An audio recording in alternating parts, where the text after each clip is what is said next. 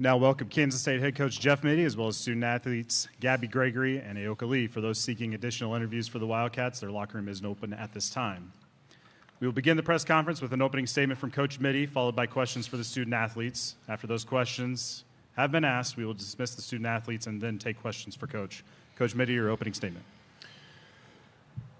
Well, disappointing to lose this one. Um, yeah, we just, uh, I think it's disappointing to lose when you don't play very well and you don't feel like that uh, you did things as well as you could have. And there's always regret that comes with that. You feel like you could have, should have done this, and, and but at the end of the day, the game presents its challenges, and there were moments that we didn't handle those things very well. And I thought our defense was good enough to win this game. We held them to 35% shooting, but ultimately turnovers were a big problem for us.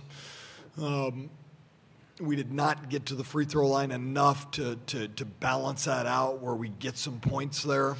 And uh, we weren't shooting the ball well enough. It was really hard for us to put together consistent possessions and um, ultimately, that's what it ends up getting us. I thought defensively in the fourth, we made some really tough stops. I thought we really dug in deep. I thought our effort was outstanding, but we just couldn't convert enough at the offensive end to, to put enough pressure on them. So credit goes to Colorado. They, um, they did a lot of things really, I think, solid. Um, I thought they gave us uh, problems uh, all day long. They were active on our guards and they were uh, active on uh, Yoki in there. So uh, credit goes to them. And um, it's been a heck of a year. So, uh, but when you end it this way, there's there's this one's going to sting for a while. Thank you, Coach. Questions for the student athletes. We'll start here in the front row. Uh, Yoki, is this one of the more physical games that you've been a part of in your career at K State? Um, no. I mean, you play in the Big 12. There's a lot of physical games. Um, it was physical. Um, like Coach Mittie said, they did a great job on defense, but no, this was not the most physical game I've been a part of. Third row in the middle. Yeah, another question for Ayoka. Um, it seemed like they really sold out try to keep the ball away from you down there in the post. What did they do specifically to make it hard on you down there? Yeah, I think like Coach Mittie said, they were just active.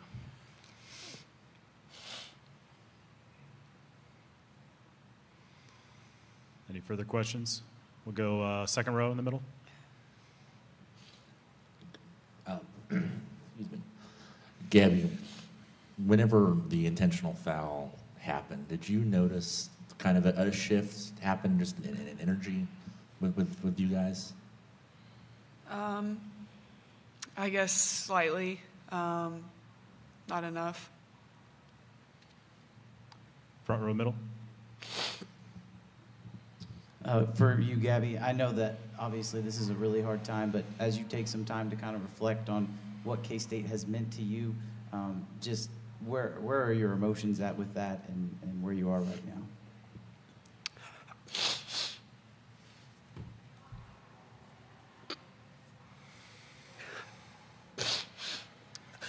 Obviously, this really sucks. um, wasn't expecting to be done so early. Um, but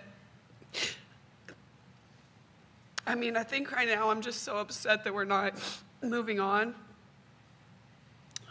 Um, but like, the magnitude of my basketball career being over in college, it really hasn't, I don't know, hit me yet. Um, but I'm just, I'm so thankful for Coach Mittie for allowing me to come here. Um, I couldn't have asked for a better experience the last two years. Um, and I just, I mean, I just love this school. I love K State. Thanks, Gene and Jill. I mean, I've just had a blast, and I've just absolutely loved my t- time here. and I wish I could stay longer. Front row, right side. And Gabby, you advocated more than anybody to have a sold out crowd, and maybe that does culminate into all the hard work you guys put in this year. But what was your reaction to actually seeing the sold out crowd and hearing it?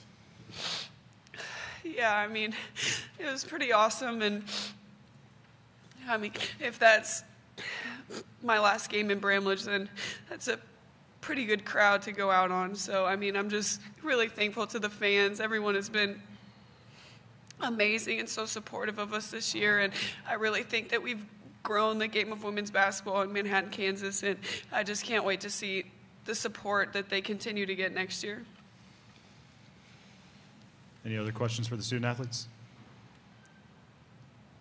Oh. All right. Thank you, ladies. Congratulations on your season.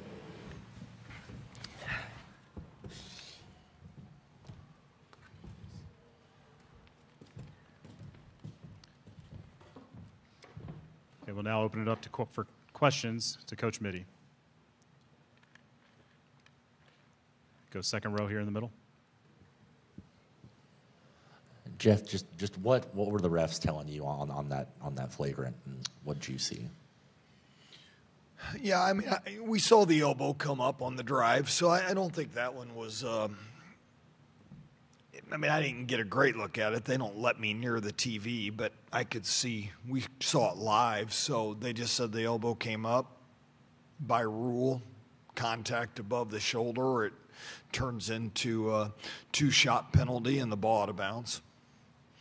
When when they open the fourth quarter, they go scoreless for the first six minutes, and you guys are only able to get get four points up. How how frustrating is that? And then and what, what kind of your reaction to how that went down? Well, that was the problem all day. Is that um, I thought our group dug in hard defensively. I thought they were doing some really good things, but we couldn't take care of the ball well enough at the other end and make good decisions. And obviously, you're going to not shoot the ball well at times, but um, we just couldn't consistently have any flow offensively. And there was an opportunity there because we did do such a good job defensively in that stretch to make a much bigger run than the four points. But um, that's why we'll look back at this and go, we, the things that we controlled, we didn't do as well as we needed to. Front row middle. Coach, uh, as far as the guard position goes, it seemed like Colorado did a really good job on blocking the entry passes to Yoki and forcing you guys to turn the ball over. Um, how do you go about trying to find a balance of guarding on the defensive end and then maybe uh, finding another way on the offense to provide a spark? Yeah, you know, that was probably where I struggled the most with. We couldn't, uh, we couldn't spread them out and get enough ball movement, and we couldn't go to a lot of things that we go to with Lee and have success. Our post entries weren't good enough. Their centers were really active, sliding around, attacking the ball in the air. Um, I think Vonleh is um, one of the stronger players in the country, but she combines athleticism that you don't always see. So um, she challenges post entry well. And um, today, if if you threw a pass a little bit to the inside, Vonleh was good enough to go get it. And um, yeah, it was impressive to watch. She's strong. She's tough. It was a physical game, um, but uh, they, they they really they made some really good plays. Third row on the right. Jeff, I wanted to go back to the intentional foul for, for just a moment. Um, the, the officials didn't call it uh, originally. The, the player came over. I think the official was standing next to you. She came over and alerted. Does that happen often, where somebody, a coach or a player, can draw an attention to that play? And You can draw attention to a play above. The, the, the interesting thing about that, and I don't want to get into that, but Gregory had gotten hit in the face the play before. Now, it wasn't intentional, but neither was Serena's, right? None of them are intent. Very few are intentional. If they're intentional, you're kicked out of the game. so, anyways, um, that that really look. We came out of that. We were ready to go. We just didn't control the ball well enough. We're ready to go. We came out of that. I told them in the huddle. I don't care which way this call goes. I go, we're going to come out of here and fight, and we did. we just couldn't pass it to our jersey enough.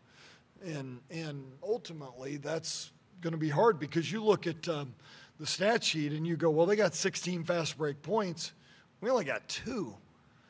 Um, I bet the points off turnovers are all fast break. So we've got to we've got to do a better job there. So that that call was, uh, I think, fairly easy once they went to the monitor and saw that it was uh, up above. So Third row middle. Sometimes I am amazed at what they don't see on the first time, though. Jeff, I saw you make a point to hug Gabby, Ayoka, Serena as they come out the game. Um, you know, what, what was that like, I guess, knowing you coached that group for the final time? Yeah, we you know we don't know on Lee, and I think Lee will make a decision here down the road here in, in the week because she does have the ability to come back if she chooses, but I'm not sure where that's going to be. Um, I think just my hug for both of them was just an appreciation of what they've done all year.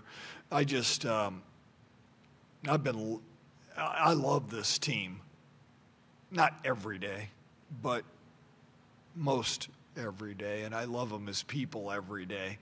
Um, they have been really steady leaders of our basketball team, and they're great competitors. So I felt like when the game was finished that they deserved the fans deserve to show their appreciation and they deserve to hear it. And so I just wanted to give them a hug and tell them thanks. Second row middle. Jeff, in the era, era of the transfer portal, one of the criticisms is that, that players can be more anonymous jumping from school to school. Gabby has been maybe the exact opposite of that and only being here for, for two years. What, what is kind of her, the impact that she's left on, on this program?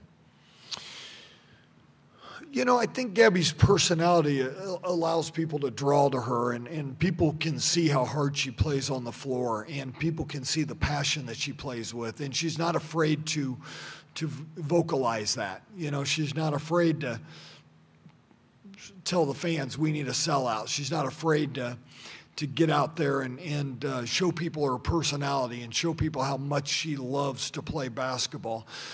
And I think just in general in life, people are drawn to people like that.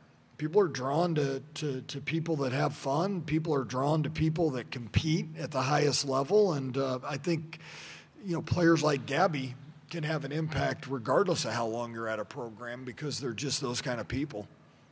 And we could see it from the, we could see it when she, she first walked in here. She loved to compete, loved to play, loved to practice, all those things. So um, it's not surprising what, what she's done. All right, coach. Thank you. Congrats on the All right, season. guys, thank you.